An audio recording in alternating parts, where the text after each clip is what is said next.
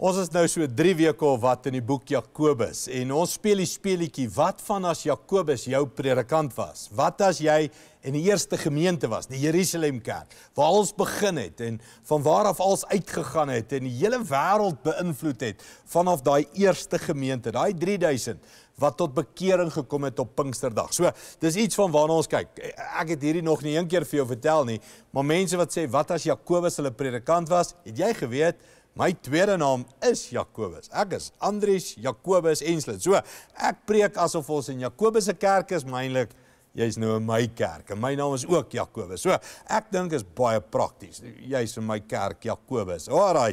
Maar wat sou ons nog moes preek? As jy die boek Jakobus lees, as jy na die vroeë kerk kyk, as jy na Jesus kyk, wat is die een boodskap wat al die skrywers almal onthou van die kenteken van Jesus se lewe. En ons almal weet, nê, nee, is ons hoofversie in lewensentrum. Jy moet die Here jou God, hoor Israel, ons Here is die enigste Here. Jy moet die Here jou God lief hê met jou hele hart, verstand, siel en krag en jy moet jou naaste lief hê soos jouself. Toe toe ek aan hierdie boek werk en ek werk aan Jakobus en ek kyk alles wat hy leer sy gemeente, natuurlik, ek kan nie anders as om agter te kom Hy leer ook die gemeente dit wat ek noem die sewe ritmes. Hy leer die gemeente Jesus, jy moet hom lief hê met jou hele hart. Ons is sy kinders. Hy leer die verstand. Jy moet jou Bybel lees, jy moet dit bestudeer, jy moet ernstig gaan kyk. Hy leer jou siel, jou karakter. Jy moet kyk na jou woordeskat, jy moet kyk na jou dade, jy moet kyk na hoe heilig leef jy. Hy praat oor jou krag. Jy moet jou geld reg bestuur. Jy moet jou gawes reg leef. Jy moet betrokke wees in die gemeente. Natuurlik praat oor naaste liefde. So hy praat oor daai selfde ritmes waaroor Jesus gepraat het, waar Petrus gepraat het, waar Johannes gepraat het. Mense, die vraag is, leef die kerk nog daai sewe ritmes? Leef die kerk nog dit wat Jesus geleer het? As ek en jy dit leef, ritmies leef, dan is ons volgelinge van Jesus. Dan maak die lewe sin, dan dan geniet ons die lewe, dan dan sien ons verandering, ons sien wonderwerke. As ons dit nie leef nie, dan sê Jakobus, is ons godsdiens leeg?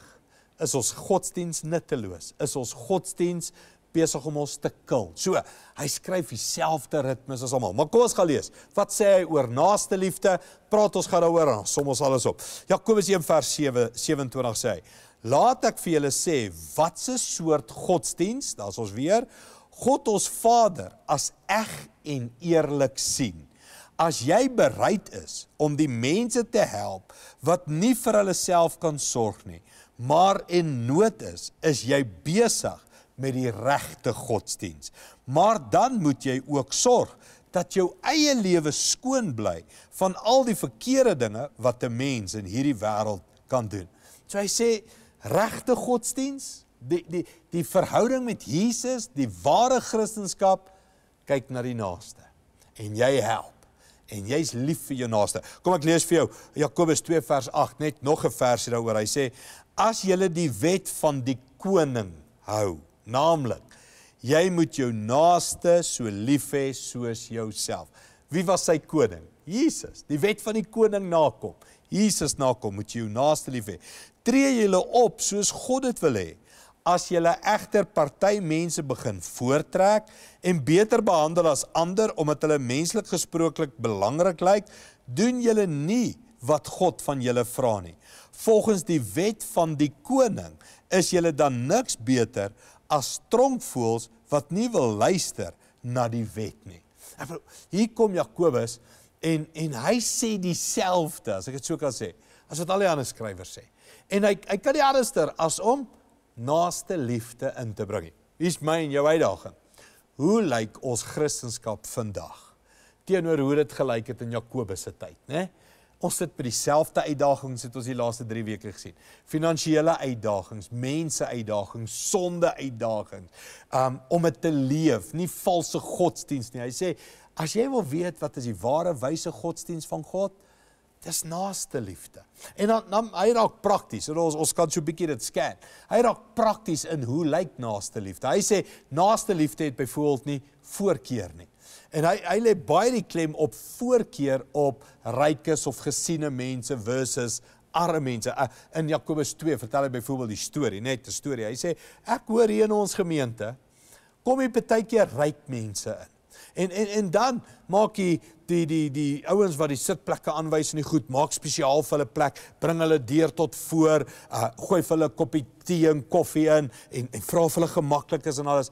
Hy sê en dan dan hoor ek baie keer kom hier regtig arme mense by ons in. En dan dan, dan, dan kyk jy hulle so en sê sit hier agter. Kom, kom, moenie pla nie. Ja, skuif, skuif, skuif weg. Nee, sies man. Nee, wat was dit julle? Hy sê, "Hey, hoe lyk dit vir ons naaste liefde?" As ons sekere mense voortrek. Voortrek oor rykdom of armoede of belangrikheid, voortrek oor status, voortrek oor wie ook al hulle is of wie hulle ken. Hy sê dis nie regte naaste liefde nie. En weer, hier's wat die woorde wat ons elke keer sê. Waar het hy dit geleer? by Jesus self, né? Nee? Jesus self het van die armste van die armste het aan hom geraak. Melaatse, siek mense, vuil mense, uitgeworpe mense was welkom by Jesus. Jesus was nie bang om sy hande vuil te kry met vuil mense se lewens nie. Hy het modder gemaak, op hulle oë gespeel. Mense met wie niemand wou meng nie, het Jesus mee gemeng. En en en Jakobus kom en sê ons moet hierdie beginsel nooit vergeet nie. Nou, net weer teruggaan. Hierdie het 'n smart kerk geword. Dit was die grootste kerk in Jerusalem. Hulle was suksesvol in hulle eerste paar jare. Duisende mense het tot bekering gekom. Hulle het welsyn gedoen. Ons sien hulle het kos uitgedeel. Ons sien daar was groot aksies. Ons sien mense het hulle grond verkoop en die geld vir die kerk gegee en hulle het 'n verskil gemaak. Hulle het die evangelie van Jerusalem af uitverkondig in die hele wêreld in. Dit was 'n smart kerk. En Jakobus kom agter, hoorie. Smartheid raak vir ons nou te belangrik. Ons wil die hoes hoes hier hê. En ons gee nie meer om vir ons begin daar nie. En ons begin daar, was almal welkom. Die armste van die armste, die vuilste van die vuilste. Almal was welkom, die groot sondaars, die vuil sondaars, die lelike mense, almal. Nou, nou, nou 30 jaar later. Nou het ons nie meer daai opregte naaste liefde nie. As jy laasweek se preek onthou, sien ons Jakobus 5 waarsku hy sê mense, ons is nou so smart en ons het geld en ons het status, ons gaan dit als verloor. En laasweek het ek jou verduidelik, dit was 'n profesie wat hy gegee het en dit het waar geword. Paulus moes gaan geld insamel in Antiochië en ander plekke en dit terugstuur Jerusalem toe, want ewe skielik het hierdie smart gemeente begin swaar kry. Hoekom? omdat hy nie naaste liefde reg beoefen het nie. Hy het sy werkers op die lande geonderdruk. Hy het net mense by die deur anders behandel en ryk mense gekies en arme mense en alles. Is hierdie nie? Is hierdie nie 'n boodskap vir jou en my vir vandag nie? Nou dalk sukkel ons oor ons naaste liefde. Dalk is daar ook 'n Jakobus profesie by my en jou in ons lewe van nou is ons smart en ons het goed en ons het sukses en ons het die arme vergeete geonderdruk en ons kyk hier na hom en Jakobus profeteer en waarsku vir ons dinge in Suid-Afrika gaan verander totdat ons leer om mekaar lief te hê. Dalk, né? Nee? So Jakobus sy, sy sy boek is 2000 jaar oud mense, maar hierdie boek is so prakties, so relevant vir vandag vir jou en my oor hoe ons moet leef. So Jakobus skryf hier, hoe lyk jou en my naaste liefde? En hoe trek ons voor? En hoe trek ons ons neus op vir party? En hoe behandel ons party mense? En hoe kies ons seker is en ignoreer ander? Ek dink hierdie is verskriklike harde woorde vir jou en my. So ons moet kyk na ons opregte naaste liefde. Ek ek wil teruggaan net vir jou sê vir my die boek Jakobus doen al sewe ritmes. En hy skryf so wys oor die goed en hy leer sy gemeente so en ons kan nog lank oor klomp ander versies gaan uithaal en preek. Maar maar daar's een versie waarmee ek hierdie reeks wil afsluit. En dit is hy hy sê julle is so arrogant. Julle kom by ons en sê vandag gaan ek hier besigheid doen, môre gaan ek daar besigheid doen en oormôre gaan ek daar besigheid doen en dan sê hy, "Hoe weet jy wat gaan môre gebeur?" Um hoe kan jy so maak asof God nie net in jou lewe kan ingryp nie? Enigiets kan enige dag verander. Kom ek lees dit vir jou en en en dan gaan ons daarmee afsluit. Hy sê Jakobus 4 vers 13. Hy sê kom nou, luister 'n bietjie na julleself. Julle sê ons gaan sommer nou of miskien môre na daardie stad toe. Daar gaan ons 'n jaar bly. Ons gaan lekker besigheid doen en sakke vol geld maak. Sê my, weet jy presies wat môre gaan gebeur? Kan jy dit regtig sê? Dink maar aan die lewe. Dit is so onseker en kortstondig. Dit is soos weerlig wat slaan. Die een oomblik is dit helder daar, maar die volgende oomblik is dit weg. Erken liewer dat die Here julle hele lewe beheer. Sê liewer, as ons môre nog leef, sal ons dit of dat doen. Maar dit hang eintlik alles af van die Here of hy sê, maar dit hang eintlik alles maar van die Here af. Ek wil afsluit ons laaste ritme in ons gemeente wat ons oor praat is jy moet jou naaste lief hê soos jouself. Selfliefde is om te sê God is kreatief en hy beheer my hele lewe. Nou as ek sê hele lewe, ek praat nie van jou hele Sondag lewe nie, nê. Nie jou hele geestelike lewe nie. Hy beheer my hele lewe. Dis wat Jakobus sy gemeente geleer het. Hy beheer jou besigheid. Hy sê julle is arrogant en sê ons gaan daar besigheid doen en ons gaan sakke vol geld maak en oor 'n jaar gaan ons dit doen en dat doen. Hy sê hoe kan jy dit sê? Jy weet nie wat môre gaan gebeur nie. Sê eerder my hele lewe word deur die Here beheer. En as die Here wil, sal ons dit doen. Dit beteken die Here is baas oor my liggaam. Die Here is baas oor my tyd. Die Here is baas oor my gesin. Die Here is baas oor my geld. Hy sê dis wat hy sy gemeente leer. Hy hy leer sy gemeente om oor te gee en te sê God is God. En hierdie lewe is in God se hande en God is in beheer. Ek het dit nou al vir jou gesê en raai wat gebeur met hierdie Jerusalem gemeente? Hy gaan in hongersnood en in armoede in. Hulle gaan in swaar kry in. En ewe skielik kan hulle nie sê ons gaan baie sakke vol geld maak nie. Inteendeel, hulle wag dat Paulus vir hulle geld moet terugbring. So so Jakobus waarsku dat as jy nie God in beheer stel van alles in jou lewe nie, van jou maandag, jou dinsdag, jou woensdag, hoe jy werk, hoe jy praat, hoe jy kuier, hoe jy vakansie hou, hoe jou hele lewe onder God se beheer. As jy dit nie doen nie, Is die lewe soos weerlig, een oomblik is dit en daar slaan iets, 'n dag gebeur iets en jy sit in skok en jy sê wat gaan nou aan? So so vir my is Jakobus regtig ons pastoor hier by Lewensentrum. Ons leer mekaar die sewe ritmes. Ons leer jy moet God lief hê met jou hart. Hy het dit geleer. Hy leer die gemeente, luister na die Bybel, maar doen die Bybel. Bou jou verhouding met God. Lees en bid. Onthou jy Jakobus 5 sê Elia was 'n mens net soos ons en hy het ernstig gebid. En as iemand siek is, bid. Hy leer mense bou 'n verhouding met God deur Bybel lees en bid. Hy leer die gemeente wees heilig. Jou dade. Jy moet God lief hê met jou hele siel, jou karakter, alles wat jy het. Jou woordeskat, jou gedrag, alles wat jy het, moet wys jy het God lief. Hy leer die gemeente, jy moet God lief hê met al jou krag, al jou geld, al jou hulpbronne, al jou tyd, al jou resources, al jou gawes. Hy leer die gemeente naaste liefde. Hy leer die gemeente jou hele lewe, ritme 7, is onder God se beheer. Hier's net vir my om terug te trek en alles te te rethink. As ek die Bybel na kyk, as ek dan die Nuwe Testament kyk, dan dink ek die beste opsomming wat ek vir jou kan gee. Hoe lyk 'n Christen? 'n Christen volg Jesus. Sy woorde, 'n Christen glo in Jesus. Maar 'n Christen het ook dade wat wys dat hy glo. En wat is hierdie dade? Wat is belangrike dade vandag in die kerk? Dis nie rook jy, drink jy, dans jy, tattoo jy, wat die belangrike dade vandag is. Hoe lyk jou hart? Hoe lief is jy vir hom? Hoe lyk jou verstand? Hoe ken jy hom? Hoe bestudeer jy? Hoe doen jy moeite om die Bybel te leer? Hoe doen jy moeite om God se wil te soek? Hoe lyk jou karakter, jou siel? Ek bedoel mense ons maak die Christendom so moeilik. Ons sê wat is reg, wat is verkeerd. Daar's sewe ritmes.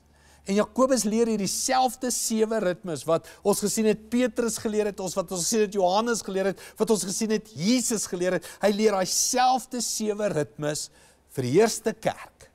En hy sê, "Ey, wat doen jy met jou geld? Wat doen jy met jou tyd? Waar is jy betrokke? Hoe lyk jou gawes?"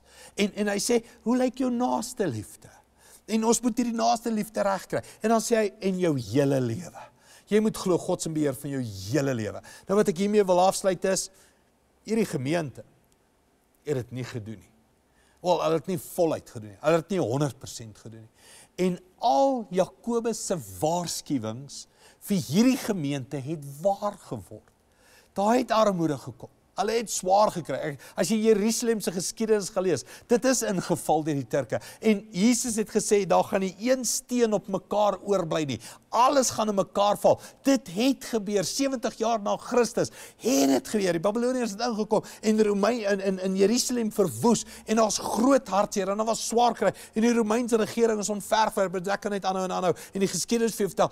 Alles het gebeur wat Jakobus hulle gewaarsku het en eintlik ek ek wil nie sê geskiedenis kon anders verlyk nie. Ek wil nie ek wil nie ander profeseë inbring en sê uh, as hulle dit maar hier's dit as hulle daai sewe ritmes beter geleef het. Sou hulle storie dalk anderster gewees het. As hulle beter geleef het met naaste liefde, as hulle beter geleef het met God se beheer van my hele lewe, as hulle beter geleef het met dade wat liefde wys, as hulle beter geleef het met hulle geld, as hulle beter geleef het met die Bybel en die woorde, as hulle dit anders gedoen het, wie sê nie hulle sou die sterkste gemeente gebly het en nie Antiochië of Korinte of Galasiërs of Efesiërs en al die ander briewe wat ons in die Bybel sien waar Paulus gaan groot kerke plant het en groot belewennisse gekry het en en al die veranderingsplase wie sê nie Jerusalem kon 'n ander storie gehad het as hulle dit net geleef het nie. En daarmee wil ek afsluit. Wie sê nie my en jou storie kan anderster wees nie. As ons net luister en sien wat Jakobus ons waarsku van van van pasop, jy kan dalk die begin Christen wees. Jy kon die sterkste kerk gewees het. Jy kon nie jy kon die voorloper gewees het 30 jaar terug. Maar kyk hoe vinnig kan dinge verander. As jy nie dit aanhou leef nie as jy nie aanhou gehoorsaam bly nie. As jy nie jou hart reghou nie, kan goed so vinnig verander. En dis vir my die waarskuwing. Ek wou lewensentrum, ons het lewensentrum begin 19 jaar terug en amazing storie, amazing wonderwerke, TV-bediening en duisende, honderde, duisende mense se lewens en al hierdie goeders. As ons nie gaan bly en doen wat die Bybel sê nie, gaan ons dit verloor. Gaan ons swaar kry. Gaan dinge verander oornag. En ons moet doen wat hierdie skrifte sê en ons moet die sewe ritmes leef en en ons moet getrou bly daarin en ons moet naaste liefde beoefen en ons moet gee en ons moet 'n verskil maak en ons moet dalk Paulus se uitstuur om geld in te saal ek weet nie maar maar ons moet dit doen. Ons kan nie net sit en sê wel ons het geglo ons het eerste geglo ons is die grootste ons het dit gemaak en is nou klaar. Nee nee Paulus ag Jakobus sê mense ons moet hierdie goed leef tot in die fynste detail en ons moet dit aanhou leef. So, wat van ek en jy besluit, 'n nuwe kommitment. Ons gaan dit voluit leef. Jesus glo, ons gaan die ritmes leef, ons gaan ons naaste lief hê. God is in beheer van ons hele lewe. Kom ek en jy besluit, ons leef soos die eerste kerk. Ons leef soos Jakobus hulle vir ons geskryf het in die boek Jakobus. Kom ons luister na die volgende lied. Hier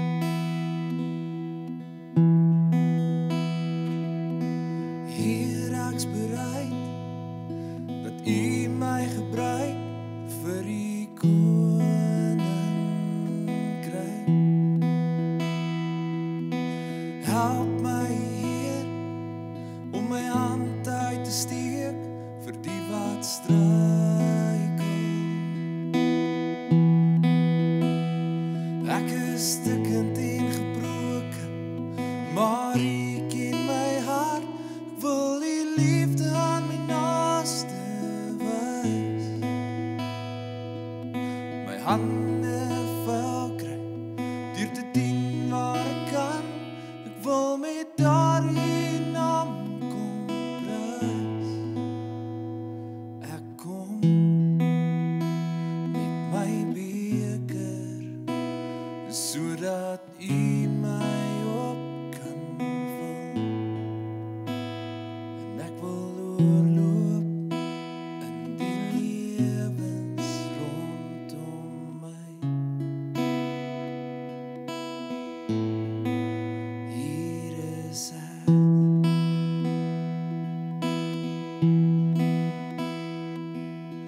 hear myself. Um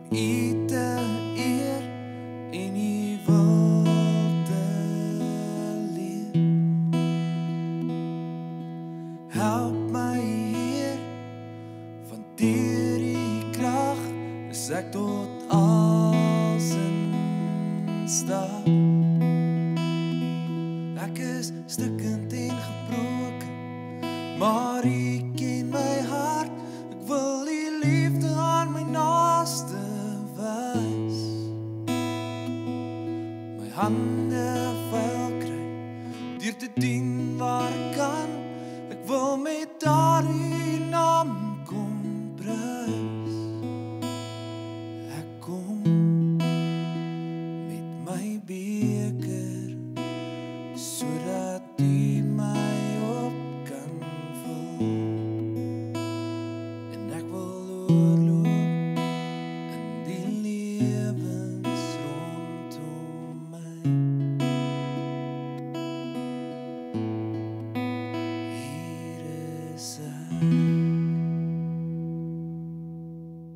Ek wil jou nooi om saam te bid dat die kerk van vandag net so voluit sal leef soos die kerk in die begin. Kom ons bid dit saam.